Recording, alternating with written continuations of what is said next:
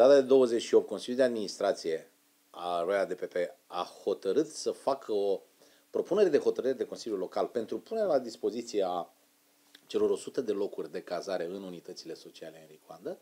Asta s-a și întâmplat. Am purces, am făcut un proiect de hotărâre de Consiliul Local. După cum ați văzut și dumneavoastră, Consiliul Local a fost de acord în unanimitate pentru a pune la dispoziție, în funcție de cereri, uh, refugiaților uh, ucrainieni uh, cazare în campusul social Enric Coandă. Este adevărat că până la această oră nu am primit nicio cerere.